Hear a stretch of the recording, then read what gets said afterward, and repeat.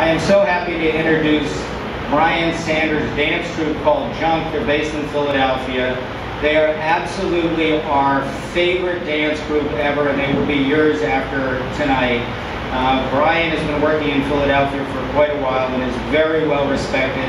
He has a Christmas show which he calls the Snowball. It's a family event. I recommend all of you attend in December. If you go to briansandersjunk.com, uh, you can you can get more information. So please give a warm welcome to Brian Sanders.